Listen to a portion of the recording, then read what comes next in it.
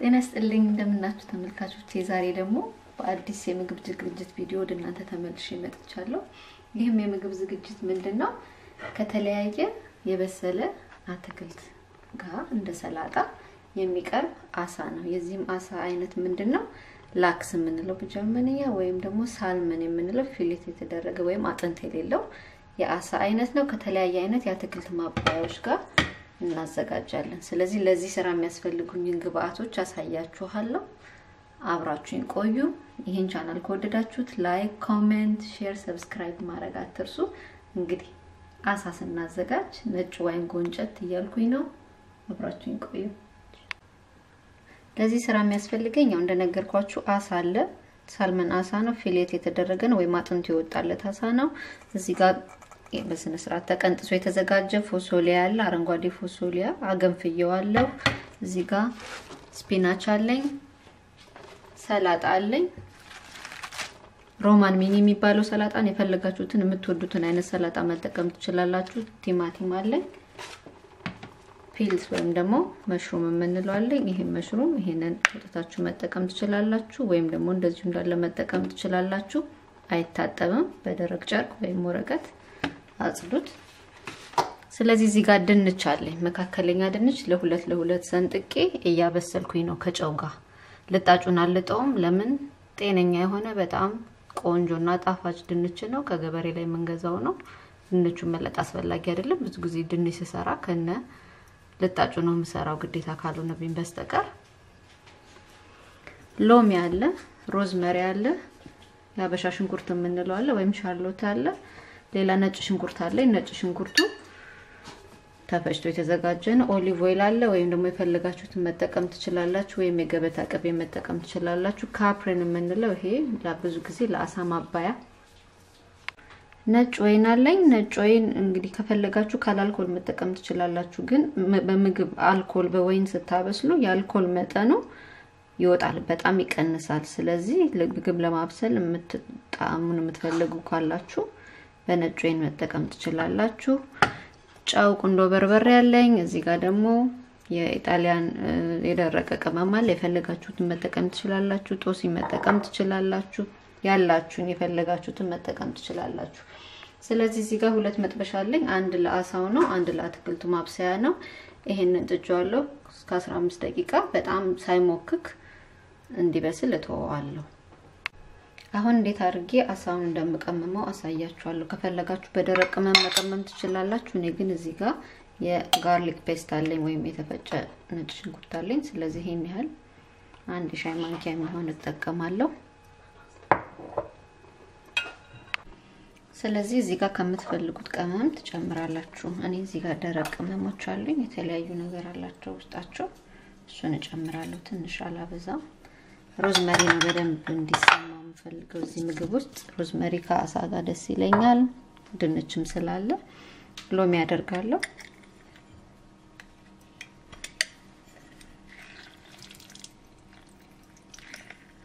ሎሚም ከበዛ በጣም ጣዕሙን ይቆጣጠረዋል። ስለዚህ የተወሰነ rosemary ጨምራለሁ። ይህ እንደዚህ አድርጌ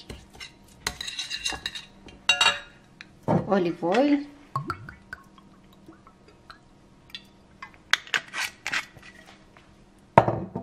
ጨው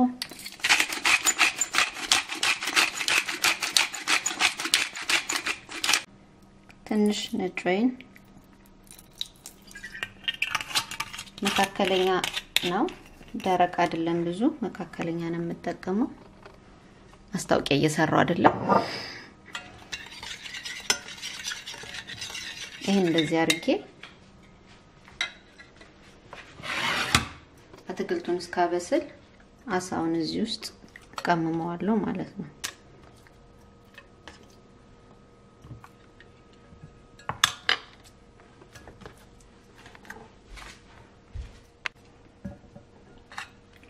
በጣም ተጠንቀቁ። በተለይ በረዶ ቤት የቆየ አሳ ከሆነ ፍርስርስ ይላል። ስለዚህ አሳው ደግሞ ውሃው መንጠፍጠፉን እርግጠኛ ሆኑ። ወይም ደግሞ አድርቆት በፔፐር ታውል አርጋችሁ ወይ በጨርቅም አርጋችሁ ቢሆን አድርቆት። ካለዛ ውሃ በውሃ ነው የሚሆነው እና ብዙ መረቅ ያለው ነገር ነው የሚሆነው። ደስ አይልም።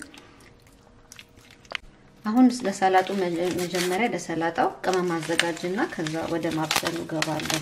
ድንቼ እየበሰለ ነው። መብሰሉን በጎን check አደርጋለሁ። እሳቱን ጨምር አደርገዋለሁ። ገና ነው። እሳት ጨምራለሁ። ስለዚህ እንደዚህ አይነት ደረቅ የሰላጣ ቅመም የፈለጋችሁትን አይነት መጠቀም ትችላላችሁ። ሎሚ ጨምራለሁኝ።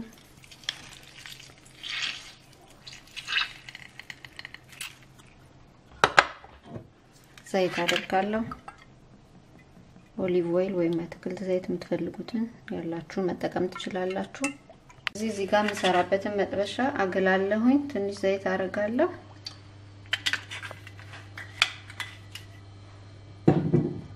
ዘይቱ ሲግል የተዘጋጀውን ፎሶሊያ ጨምራለሁኝ። spinach ኡን ስፒናቹና መሽሩሙ ብዙም ስለማይፈልግ መጨረሻ አካባቢ ነው የምጨምረው፣ ትንሽ ፎሶሊያውን ካበሰልኩኝ በኋላ። ስለዚህ ይሄ ሲግል ጨምራለሁ ማለት ነው። ከዛ ሰላጣውን አዘጋጃለሁ። ሰላጣውን ተለቅ ተለቅ አርጌ እንደዚህ ቆርጠው በምትፈልጉት አይነት መንገድ ማድረግ ትችላላችሁ። ወይም ደግሞ መጀመሪያ በትልቅ እቃ ላይ ካቀላቀላችሁ በኋላ እዛ ጋር ማድረግ ትችላላችሁ።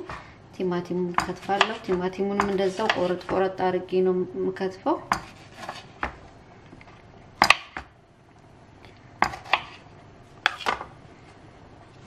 ለምን ድንቹ ትልልቅ ስለሆነ እንዲመሳሰል በመጠን ተለቅ ተለቅ አድርጋችሁ አሁን በመጥበሻ ይግሏል። ቀስ አድርጋችሁ እርጥበት ስላለው ፎሶሊያው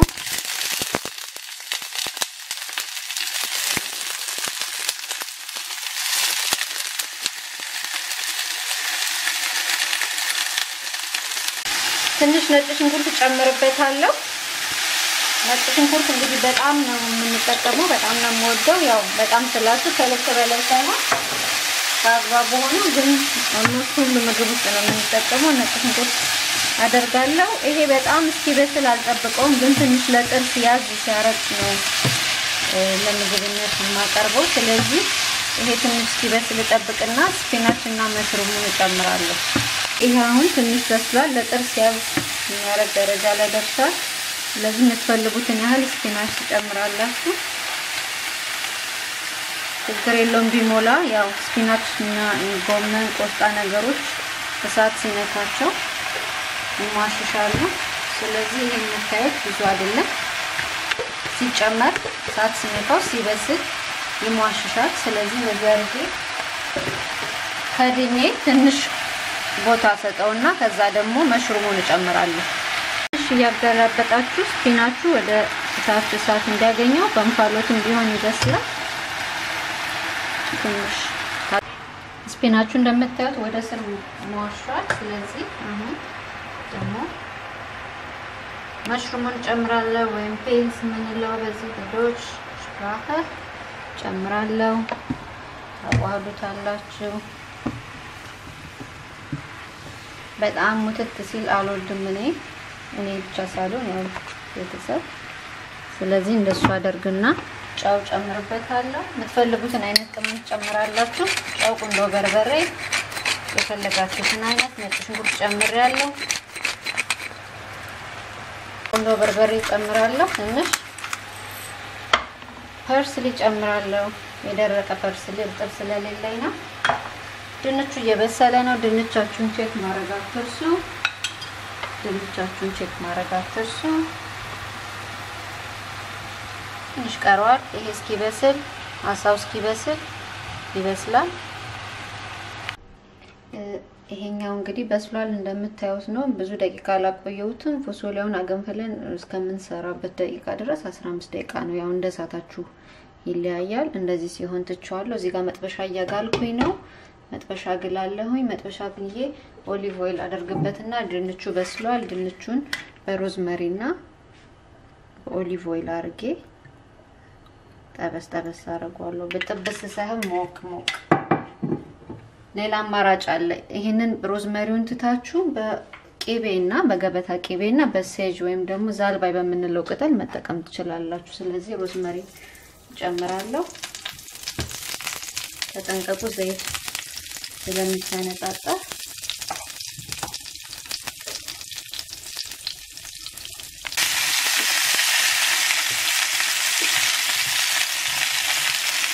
ትንሽ ነው ሞቅ ሞቅ የማደርገው። ጨው ስለጨመርኩበት ቅድም ጨው መጨመር አያስፈልግም። የደረቀም ሮዝመሪ ካላችሁ እሱንም ማድረግ ትችላላችሁ። የገበታ ቅቤን መጠቀም ትችላላችሁ። እንደ አማራጫችሁ ነው። የገበታ ቅቤን መጠቀም ትችላላችሁ። ግን በ oil በ olive oil እና በ rosemary በጣም ይጣፍጣል። ከአምስት እስከ ሰባት ደቂቃ የሚሆን እንደዚህ በዘይት እያደረጋችሁ ትንሽ እንደ መጥበስ ታረጉትና ከዛ ታወጡታላችሁ። ይበቃዋል። እኔ ያወጣዋለሁ። ስለዚህ በዚሁ መጥበሻ አሳዬን መጠብስና ምግብ ስራውን ጨርሳለሁ ማለት ነው። ስለዚህ አሳውን ስጠብስ የምጠቀመው እኔ ቅቤ ነው፣ የገበታ ቅቤ ማለት ነው። ለዚህ ገበታ ቅቤ አለኝ እዚህ ጋር የተወሰነ አንድ ሾርባ ማንኪያ የሚሆን የገበታ ቅቤ ጨምራለሁ።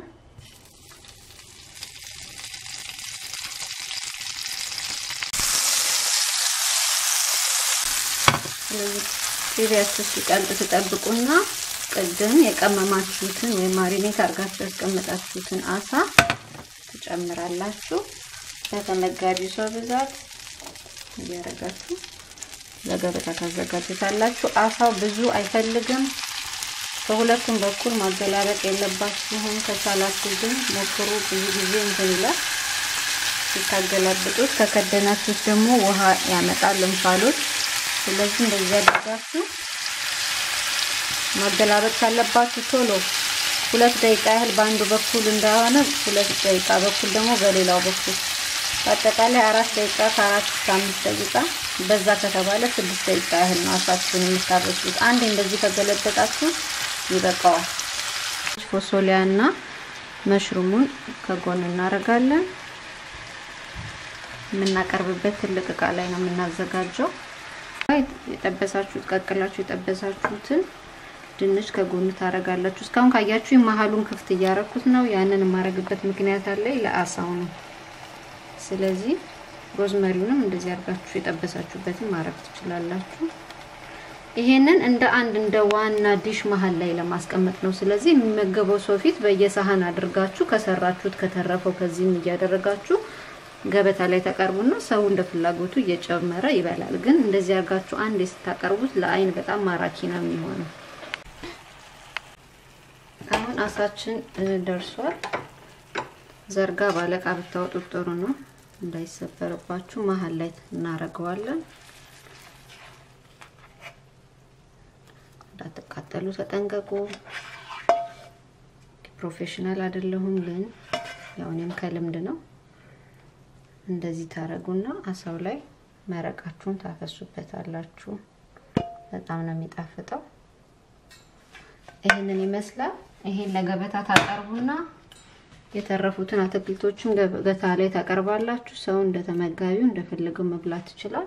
እርጥብ rosemary ካላችሁ ይህን ታረጋላችሁ። ስለዚህ አሁን የቀረን ነገር ምንድን ነው? ይቅርታ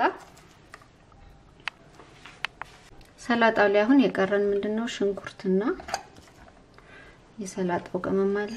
ቅመሙን እንጨምርበታለን።